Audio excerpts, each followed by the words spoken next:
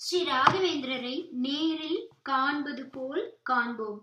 சென்னை வடபழனி அழகிரி நகரில் ஸ்ரீ ராகவேந்திரரை தனது பக்தியால் கொண்டு அமர்த்தியுள்ள திரு ஜெயச்சந்திரன் கத்தாரிலிருந்து என்னை கொண்டு- தொடர்பு கொண்டு கிரந்தாலயத்திற்கு நான் ஏதாவது செய்யலாம் என்றிருக்கிறேன் என்றார். தொடர்ந்து அவரே ஸ்ரீ ராகவேந்திர கிரந்தாலயாவின் கர்ப்பகிரகத்தின் பொறுப்பை நான் ஏற்கலாம் என்றிருக்கிறேன் என்றதும் சற்றே யோசித்து சரி என்றேன். திரு சாய்நாத் அதற்காகவென்றே பிரத்யேகமாக தந்திருப்பதாக சென்ற அத்தியாயத்தில் கண்டோமே. இவருக்கும் சரி என்றால் எப்படி? கிரந்தாலயத்தில் ஒன்றல்ல மூன்று கர்ப்பகிரகங்கள் அமைய உள்ளன மூன்றென்ன? நான்கு நான்கு என்று கூட சொல்லலாம். அதிலே இரண்டாவதன் பொறுப்பை திரு ஜெயச்சந்திரனுக்கு தரலாம் என்று எண்ணிக்கொண்டேன். இப்போது நாம் எல்லோரும் சேர்ந்து என்னென்ன பணிகளை ஒவ்வொன்றாக நிறைவேற்ற வேண்டும் என்கின்ற பட்டியலை பார்ப்போம். நமக்கு தானமாக கிடைத்துள்ள அந்த ஒரு ஏக்கருக்கு பக்கத்தில் இன்னும் கொஞ்சம் இடம் வாங்குவது. ரெண்டாயிரத்தி பதினொன்னில் பூமி பூஜை போட்டு வேலைகளை துவங்க வேண்டியது. கிரந்தாலயம் என்றால் நூலகமோ புத்தகம் போடுவதோ மட்டுமல்ல அதுவும் ஒரு பணி அவ்வளவே. கிரந்தாலயம் சார்பில் அரிய கிரந்தங்களை பதிப்பிப்போம். நமக்கென்று ஒரு பத்திரிகை துவங்குவோம். இதன் மூலம் ஏராளமான பக்தர்களுடன் ஒரு பிணைப்பை ஏற்படுத்தி கொண்டு பலவற்றை சாதிப்போம். கிரந்தத்தை யார் வேண்டுமானாலும் வெளியிடலாம். ஆனால் நாம் செய்ய போவது அந்த கிரந்தத்தில் இருப்பதையெல்லாம் நேரில் அங்கு காணும் வகையில் பிரம்மாண்டமாக அமைக்கப் போவது. அதாவது ஸ்ரீ ராகவேந்திர மகிமை மூன்றாம் பாகத்தில் ஸ்ரீ ராகவேந்திரர் பிருந்தாவன பிரவேசம் செய்வதை பிருந்தாவனத்துள் அமர்ந்துள்ளதை சித்திரத்தின் மூலம் விளக்கியிருந்தோம் அல்லவா? கிரந்தாலயாவிலும் மந்திராலயத்தில் இருப்பதை போன்று பனிரெண்டு தூண்கள் இருக்கும். பிருந்தா பிருந்தாவனம் இருக்கும். அதோடு மட்டுமல்லாது அங்கே சென்று கீழே பார்த்தால் படத்தில் உள்ளதைப் போல் ராகவேந்திர பிருந்தாவனத்தின் கீழே அமர்ந்து ஜபம் செய்து கொண்டிருப்பதை நேரில் நிஜத்தில் காண்பது போல் அமைக்கப்பட்டிருக்கும். அதற்கும் கீழே பூமியில் நீங்கள் எழுதி தரும் ஆயிரத்தி எட்டு பூஜாய ராகவேந்திராய நூல் உங்கள் பெயர் நட்சத்திரம் கோத்திரத்துடன் உள்ளே வைக்கப்பட்டிருக்கும். உங்களுக்கு மட்டுமல்லாது உங்கள் சந்ததியருக்கும் ஸ்ரீ ராகவேந்திரரின் அனுகிரகம் தொடர்ந்து கிடைப்பதற்கான ஏற்பாடு இது. நான்கு நான்கு கர்ப்ப கிரகங்களில் இதுவும் ஒன்று. இப்புவியில் சங்குகர்ணருக்கு ஸ்ரீ பிரஹ்லாத ஸ்ரீ பாக்லீகராஜ ஸ்ரீ வியாசராஜ ஸ்ரீ ராகவேந்திர என்னும் நான்கு அவதாரங்கள் உண்டல்லவா? அதை குறிக்கும் வகையிலே நான்கு கர்ப்பகிரகங்கள் ஒன்றன் கீழ் ஒன்றாக அமைய உள்ளன ஸ்ரீ ராகவேந்திர பிருந்தாவனம் பிரதானம். அதன் மேல் தளத்தில் ஸ்ரீஹரி. பிருந்தாவனத்தின் கீழே நிஜமாக ஸ்ரீ குருராஜர் அமர்ந்துள்ளதைப் போல் அமையப்போவது மூன்றாவது. நாம் எல்லோரும் சென்று தரிசித்து பரவச போ ப- படப்போகும் கர்ப்பகிரகம் அது. அதன் கீழே பூமியிலே ஸ்ரீ ராகவேந்திர நாமாவை தாங்கிய கிரந்தங்கள் என நான்காக கர்ப்பகிரகம் இருக்கும். தியான மண்டபம் குருகுலம் முதியோர் இல்லம் வேத பாடசாலை அன்னதான கூடம் கோசாலை போன்ற இன்னும் பலவும் உங்கள் கைங்கரியத்தின் மூலம் வரவேண்டியுள்ளது நிறைவேற வேண்டியுள்ளது. இதுவன்றி ஸ்ரீ ராகவேந்திரரின் சங்குகர்ண அவதாரத்திலிருந்து எல்லாவற்றையும் விக்கிரக ரூபங்களாக செய்து பெரும் பொருள் செலவில் அமைக்கும் திட்டமும் உங்களால் தான் நிறைவேற வேண்டும். பிரகலாதருக்கு அருள் பாலித்த ஸ்ரீ நரசிம்மர் பாஹ்லீகராஜர் ஸ்ரீ வியாசராஜருக்கு அருள் பாலித்த ஸ்ரீ கிருஷ்ணர் ஸ்ரீ வியாசராஜர் ஸ்தாபித்த யந்திரோத்தாரக ஹனுமான் ஸ்ரீ ராகவேந்திரர் அவதரிக்க அருள் புரிந்த வேங்கடவன் ராகவேந்திரர் என நாமம் சூட்டச் சொன்ன ஸ்ரீ ராமபிரான் வேங்கடநாதனுக்கு காட்சி தந்த சரஸ்வதி பிருந்தாவன பிரவேசம் செய்த பின் சாட்சி யோத்ரஹி என்று அருளிய ஸ்ரீ ஹைக்ரீவர் என இன்னும் பல்வேறு தெய்வங்கள் குறைந்தபட்சம் முப்பது எண்ணிக்கையில் பஞ்சலோகங்களில் தனித்தனி சந்நிதிகளில் எழுந்தருளப் போகிறார்கள். நீங்களே தனி சந்நிதியின் பொறுப்பேற்று அமைக்கலாம். அல்லது விக்கிரகத்தின் பொறுப்பை ஏற்கலாம் அல்லது இதற்காக உங்களால் என்ன முடிகிறதோ அதை தரலாம். ஸ்ரீ ராகவேந்திர பக்தர்களாகிய நாம் எல்லோரும் சேர்ந்து உலகிலேயே எங்கும் இல்லாத வகையில் ஸ்ரீ ராகவேந்திரருக்கு ஒரு கிரந்தாலயத்தை எவ்வளவு விரைவில் முடியுமோ அவ்வளவு விரைவில் முடிப்போம். எப்படியும் கட்டுமான பணிகள் இதர பணிகள் எல்லாம் முடிய ஆரம்ப ஆரம்பித்த நாளிலிருந்து ஐந்து ஆண்டுகள் கூட பிடிக்கலாம். அதுவும் தங்கு தடையின்றி தொகை வந்து கொண்டே இருந்தால். இல்லையேல் காலம் சற்றே கூடலாம். ஓவியர் சசியின் காலத்தால் அழியாத ஓவியங்கள் எல்லாம் வண்ணம் தீட்டப்பட்டு சட்டம் பூட்டப்பட்டு ஒரு தனி தளத்தில் வைக்கக்கூடிய திட்டமும் உள்ளது. இதற்கும் பெரும் தொகை தேவைப்படும். சித்திரங்களை நாம் இலவசமாக தந்தாலும் அதை நேர்த்தியாக காட்சிப்படுத்த காலம் காலமாய் நிலைத்து நிற்க வைக்க பெரும் பொருட்செலவு கட்டாயம் ஆகும். இதுவன்றி ஸ்ரீ ராகவேந்திரரை குறித்த முழு நீள தொடரை மிக சரியாக எடுக்கப்படுவதும் நமது திட்டங்களில் ஒன்று. அங்கார அக்ஷதை அத்தியாயத்தில் இதற்கென நீங்கள் செய்ய போகிறீர்கள் என்று பக்தர்கள் பலரும் கேள்வி கேட்டதாய் எழுதியிருந்தேன் அல்லவா? சரியானபடியாய் நெடும் தொடர் எடுப்பதே அதற்கான சரியான பதிலாகும். தொலைக்காட்சிகளில் ஒளிபரப்புவதற்காக மட்டும் அல்ல இது. பிற்காலத்திற்கும் சரியான ஆவணப்படமாக அமையும் விதத்தில் உருவாக்கி நமது கிரந்தாலயத்திலேயே வாரம் ஒரு முறை திரையிட்டும் காண்பிக்கலாம். நாம் முன்பே சொன்னதைப் போல இதை போன்ற நூல்களை தனியொருவனால் என்னால் உருவாக்க இயலும். மிருத்திகா பிருந்தாவனங்களை கூட பலர் கூட்டாக சேர்ந்து அமைக்க முடியும். ஆனால் கலை நயத்தோடு பக்தி நயத்தோடு கிரந்தத்தில் உள்ளதையெல்லாம் காட்சிகளாக வழிபாடு செய்யும் வகையாக அமைக்க உங்கள் எல்லோரின் பங்களிப்பும் தேவை.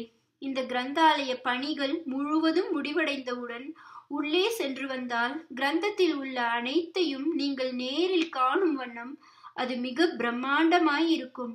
மொத்தத்தில் கோவிலுக்கு சென்றதை போலவும் இருக்கும். பிருந்தாவனத்தை தரிசித்தது போலும் இருக்கும். அதுவும் ஒன்றல்ல. பல மடங்கில் இவற்றை தரிசித்தது போல இருக்கும். எல்லாவற்றையும் மீறி அனைத்தையும் அறிந்து கொண்டு தரிசித்த மன நிறைவு கிடைக்கும் பாருங்கள். இது வேறெங்கும் இல்லாத வேறெங்கும் கிடைக்காத ஒன்றாக இருக்கும். உங்கள் காணிக்கைகளை கீழ்கண்ட முகவரிக்கு மணி ஆர்டர் காசோலை அல்லது டிராஃப்ட் மூலமாக அனுப்புங்கள்.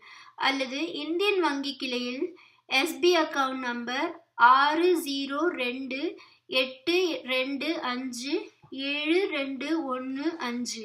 ட்ரிப்ளிகேட் பிரான்ச் என்னும் எண்ணில் தொகையை நீங்கள் இருந்த இடத்திலிருந்து செலுத்தி செலுத்தியதற்கான ஜெராக்ஸ் பிரதியை உங்கள் முகவரியுடன் தெரிவியுங்கள். வேறு வங்கியில் செலுத்தினாலும் IFS code IDIB zero zero zero T zero fifty five என்பதை உபயோகித்து மேற்படி கணக்கில் கட்டி விபரம் தெரிவியுங்கள் Shri Raghavendra Granthalaya Seva and educational charitable trust register nine seven seven slash two thousand eight sixteen bar one one six TP Koil street Tirumala flats opposite Shri Raghavendra Swami Mutt Triplicane Chennai six zero zero zero zero five தற்சமயம் ஸ்ரீ ராகவேந்திர கிரந்தாலயத்தின் முகவரியாக நமது திருவல்லிக்கேணி விற்பனை நிலையம்தான் உள்ளது.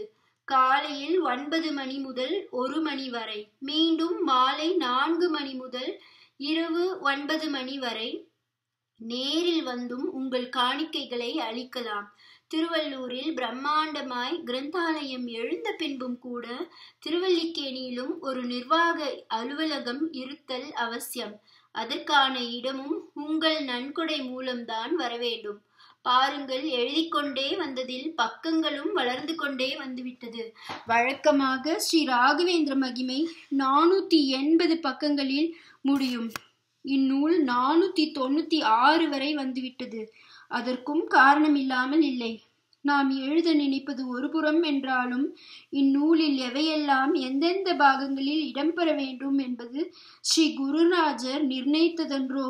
ரெண்டாயிரத்தி ஆறில் வெளியான மந்த்ராலய மகானுடன் மனத்தால் பேசிய கட்டளை கட்டுரைக்கு ரெண்டாயிரத்தி ஒன்பதில் வெளியான ரியல் ஸ்டோரிக்கு ரெண்டாயிரத்தி பத்தில் நிகழ்ந்த ஜோகூர் சம்பவத்திற்கெல்லாம் இந்நூலில் ஏன் விளக்கம் எழுத வேண்டும் என்றிருந்தேன். ஆனால் பக்தர்கள் தொடர்ந்து வற்புறுத்தினார்கள் என்பதை விட ஸ்ரீ குருராஜர் பதில் எழுத வைத்தார் விளக்கங்களை சொல்ல வைத்தார். என்பதுதான் நிஜம். ரெண்டாயிரத்தி எட்டாம் ஆண்டு ஸ்ரீ ராகவேந்திர சுவாமி ஆராதனையின் போது ஸ்ரீ ஸ்ரீ பாதராஜ மடத்தின் பீடாதிபதிகள் எனக்கு ஸ்ரீ ராகவேந்திர கிரண பிரச்சார நிரத என்னும் விருதை தந்து அதை அந்த ஸ்ரீமடத்தின் மாத இதழான ரங்கவிட்டுல செப்டம்பர் ரெண்டாயிரத்தி எட்டு இதழில் ஸ்ரீ ராகவேந்திர சுவாமிகளின் மகிமைகள் குறித்து ஐநூறு பக்க அளவில் எட்டு பாகங்களாக பக்த ஜனங்களுக்கு தந்திருக்கும் அம்மன் சத்யநாதனுக்கு ஸ்ரீ சுவாமிகளால் இந்த விருது வழங்கப்பட்டது என்று படத்துடன் செய்தி வெளியாகியிருந்தது. ஸ்ரீ ராகவேந்திரரை குறித்த பிரச்சாரம் என்னும் ஒளி கதிர்களை எல்லா எல்லா திசைகளிலும் பரப்பக்கூடியதில் நிகரற்று விளங்குபவர் என்பதான அந்த விருதின் பெருமைக்கு என்னை உயர்த்தியவர் ஸ்ரீ குருராஜர் அல்லவா? அஞ்சு பத்து ரெண்டாயிரத்தி பத்து அன்று மூலபாகலில் பிருந்தாவனஸ்தரான தாம் எங்கு சென்றாலும் ஸ்ரீ ராகவேந்திரரை பற்றி குறிப்பிட வேண்டிய சந்தர்ப்பங்களில் என் சேவையை பெரிதும் பாராட்டிய ஸ்ரீ ஸ்ரீ விஜயானநிதி தீர்த்த ஸ்ரீபாதங்களின் வாக்கின்படியே இந்த பாகம் நானூத்தி தொண்ணூத்தி ஆறு பக்கங்களாக இருக்கிறது என நினைக்கிறேன். இது போன்றே இந்த எட்டாம் பாகம் கூட ஸ்ரீ ஹரிவாயு குருவின் என்னப்படிதான் அமைந்திருக்கிறது. ஆம் இந்நூலில் முன்கூட்டியே நான் எழுத நினைத்தது தாமோதர குண்டம் அதற்கான முயற்சியில் இருந்து கொண்டே இருந்தேன்.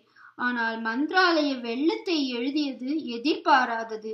ஸ்ரீ விஜயேந்திரர் சம்பவமும் பீமன் கட்டேயும் நீரோடு சம்பந்தப்பட்டவாயாய் அமைந்ததும் கோபிதலா சக்ராங்கிதே துவாரகா மகிஷி ஹெலவனக்கட்டே கிரியம்மா சிந்தரேவலி போன்ற பலவும் நீர்நிலைகளோடு தொடர்புடையவாயாய் அமைந்ததும் ஸ்ரீ குருராஜர் அமைத்ததுதான்.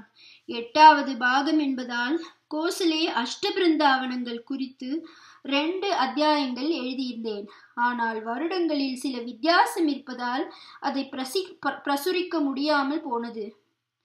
கர்ஜிக்கு ஹரிவிட்டல ஆசிரமம் சென்று அனுபவித்து எழுதியிருந்தேன். கர்ஜிகிதாசர் குறித்த சில விஷயங்கள் முழுமையாக கிடைக்காததால் அதையும் வெளியிடவில்லை. இவையெல்லாம் அடுத்த பாகத்தில் வெளியாகும். இதுபோன்று எழுதி முடித்து பிரசுரிக்க முடியாமல் உள்ள அத்தியாயங்கள் இன்னமும் உண்டு. அந்த சிறு சிறு தகவல்கள் முழுமையாக கிடைத்தால் அடுத்தடுத்த பாகங்களில் வெளியாகும். ஸ்ரீ கூர்மம் பற்றியும் ஸ்ரீ ராகவேந்திர பிருந்தாவனத்தின் கீழே ஏன் கூர்மாசனம் என்பது பற்றியும் இந்நூலில் எழுத முயல் வேகத்தில் முயற்சியெல்லாம் மேற்கொண்டேன். இந்த நூலுக்கு தேவையான சில முக்கியமான தகவல்கள் கிடைக்காமையால் எழுத இயலவில்லை. கூர்மம் அல்லவா மெதுவாகத்தான் இடம்பெறும். அதுவரை இந்த நூல் வரிசையை அதில் உள்ள சம்பவங்களை திரும்ப திரும்ப படிப்போம். இப்படி ஸ்ரீ குருராஜரின் மீது அளப்பரிய பக்தி கொண்டு எப்படிப்பட்ட சோதனைகள் வந்தாலும் இறை பக்தியிலிருந்து குரு பக்தியிலிருந்து வழுவாமல் இருந்து எத்தனை சோக அலைகள் ஆர்ப்பரித்து எழுந்தாலும் நம்மை கரை சேர்க்க ஆனந்த வெள்ளத்தில் மூழ்க வைக்க நம் குருராஜர் இருக்கின்றார் என்ற நம்பிக்கை கொண்டு எல்லாவற்றிலும் ஜெயமே கொண்டு இந்த லோகமெங்கிலும் சாந்தம் நிலைக்க சந்தோஷம் பொங்க எல்லோரும் நலமே பெற்று வளமாய் வாழ ஸ்ரீ ஹரிவாயு குருவை பிரார்த்தித்து கொண்டு உங்கள் அனைவரையும் ஸ்ரீ ராகவேந்திர மகிமை ஒன்பதாம் பாகத்தில் சந்திக்கிறேன் என கூறிக்கொண்டு இந்த நூலை முடித்துக்கொள்கிறேன். ஓம் ஸ்ரீ ராகவேந்திராய நமக. ஸ்ரீ கிருஷ்ணார்ப்பணமஸ்து